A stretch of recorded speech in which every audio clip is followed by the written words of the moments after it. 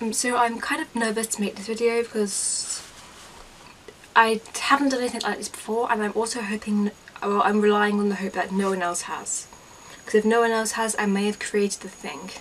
So the other day I was, what was I doing? I don't know. But somehow I stumbled back upon the idea that every book or every film is made from seven basic plots.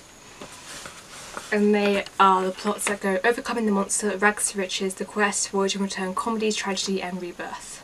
It then got me thinking of like what books from these shelves fit this theme or any of these themes. And then I decided I wanted to make a video on it and it could be a tag, it could just be a book talk. So this is going to be the 7 basic plots video, maybe the 7 basic plots tag. Not sure, I doubt it will catch on, I'm not popular enough to start things like that. But I want to do it anyway, because I like the idea. So the first plot is overcoming the monster.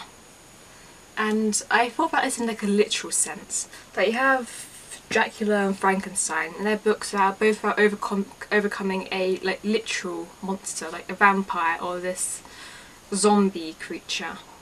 Then if you think about it from a different view you have like Hunger Games could be about overcoming the monster which is like overcoming a corrupt government. And Divergent is overcoming Jeanine which I guess is also a corrupt government in a sense. And also that guy from the from Legion I can't remember the name of suddenly. The next category is rags to riches and the obvious choice for that is Cinderella who literally went from rags, like slaving around after her family to riches, queen. Was she, was she a queen was she a princess? I think she's a princess. Then I try to think of other rags to riches stories because I struggled because my mind went straight to like princess and like starting off with nothing and becoming something. Then I thought of a book called Undone by Cat Clarke, which is on this bottom shelf somewhere. I think it's behind this. Where the main character, Jem, starts off as she's like the emo kid because her best friend died and she's like unpopular, she's lonely. Then she gets like taken in by the popular kids in school and she becomes one of them, which I guess is going from rags to riches. I don't know if that counts, but I like the idea. I'm going to say that this is my tag. I'm presuming no one else has done it. I hope no one else has done this.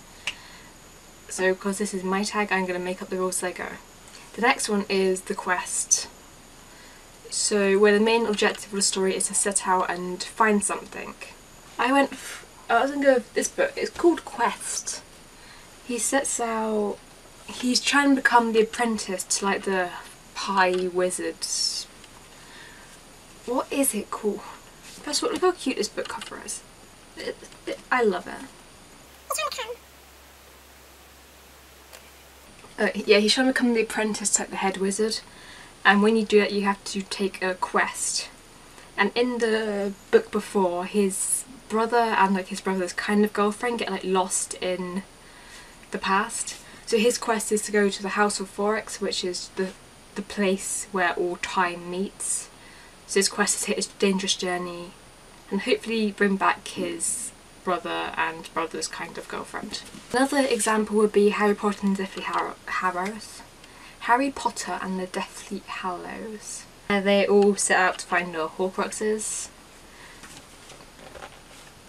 Then Briar Rose by Jana Oliver, I think it's also on the bottom shelf.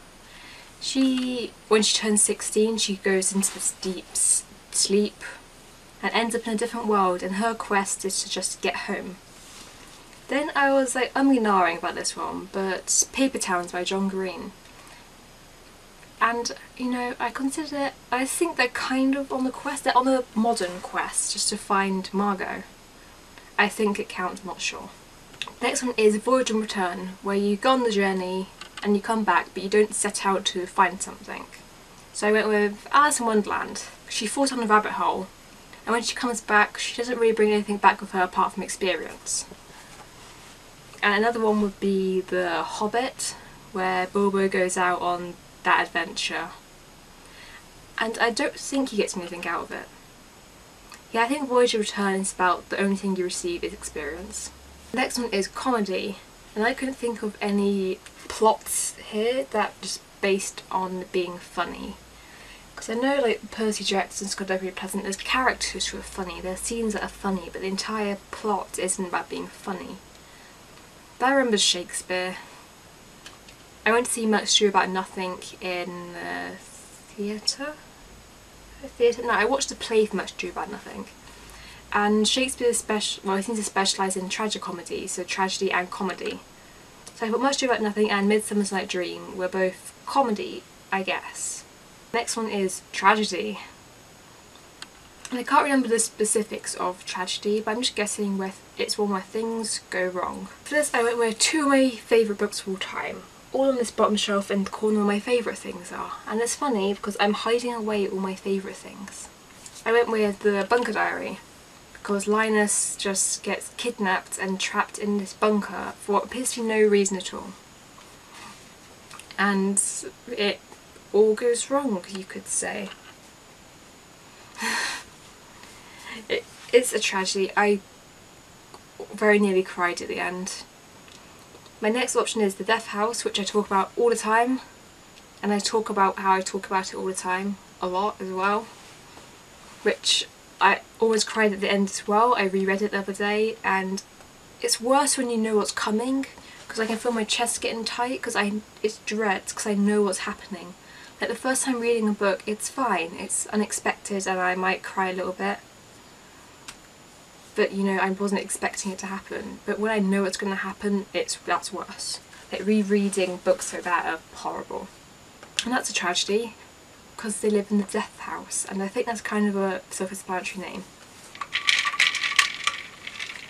So Rebirth is meant to focusing on someone who probably starts off as evil and turns good.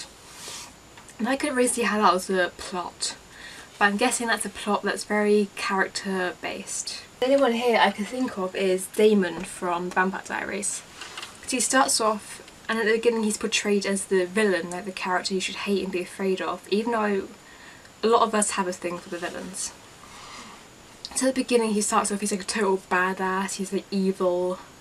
But then throughout the series, I don't know, probably around like the middle, I guess. Well, he spends all the time competing with his brother for Elena, so he's a bit of a dick. Then somewhere in the middle he shifts and he becomes the good character who like saves them all, he's a saviour and I don't know if it's rebirth. It might be rebirth because at some point, at some point around here, I think it's around there, he literally dies and comes alive again and he's suddenly good then. So I guess that's rebirth. I really can't think of anything else. But I wouldn't even say like anyone can carry on because even though Baz seems to be like portrayed slightly villainous, you have his perspective and you know that that's the complete opposite. So I can't really think of any for Rebirth, so I'd be very grateful for some suggestions of books where characters start off bad and like turn good, or even better, ones who start off good and turn bad. I'm hoping I can pass this off as a tag that I've begun. I might leave it as a book talk. I don't know. I haven't decided. But thank you for watching this. Uh, in the comments below, leave a suggestion for each of those categories because I'd love to read well, I love to read more books. And also, it's going to bother me now that I can't think of any decent books for each category. So leave them in the comments below. So thank you for watching and I'll see you next time. Bye!